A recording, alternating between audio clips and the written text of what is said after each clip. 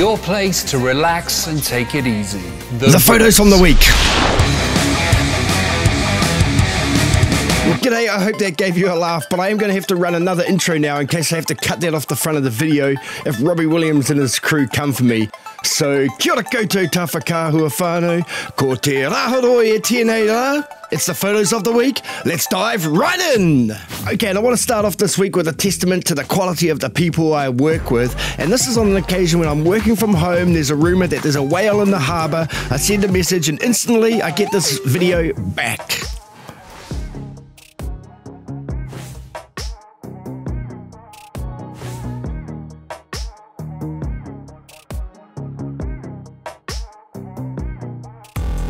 That was really, really cool. And although no humpback was found, I really appreciate someone at my work jumping up and going down and filming the ocean just to let us see if there's a whale in the harbour. Thanks a lot for that. And we're not called Windy Wellington for nothing. Just a couple of clips here demonstrating how windy it can get in Wellington.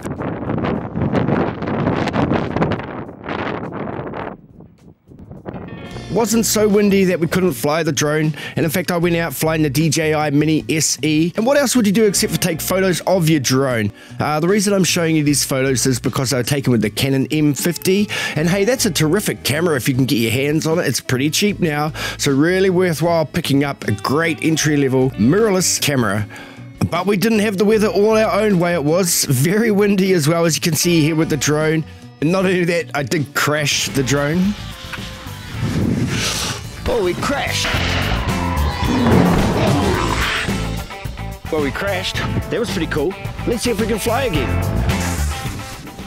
And of course, I do lead an extraordinarily boring life. So once again, for your excitement, it was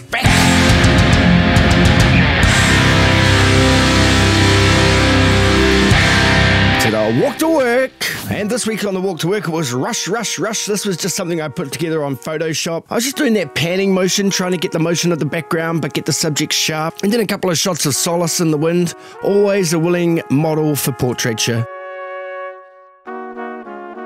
And then I was just playing around with some reflections, some puddles, capturing people enjoying our harbour, a constant scene. I actually punched in here because I noticed the golden glow around the hair, so I just wanted to capture that. And then back to that windy morning. Yeah, gosh, we had uh, four seasons in one week.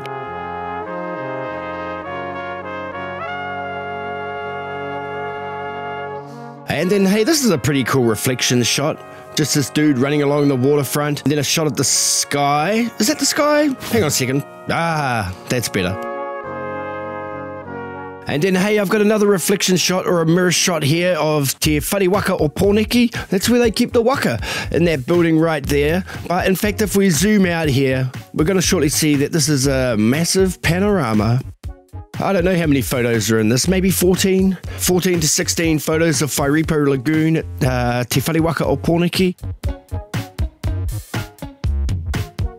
But here's the actual shot, the reflection shot, and I can tell you that lagoon there is very seldom so calm. So whenever it is, I'm like, wow, I'm gonna capture something here today. And I'm just gonna leave you with this photograph here.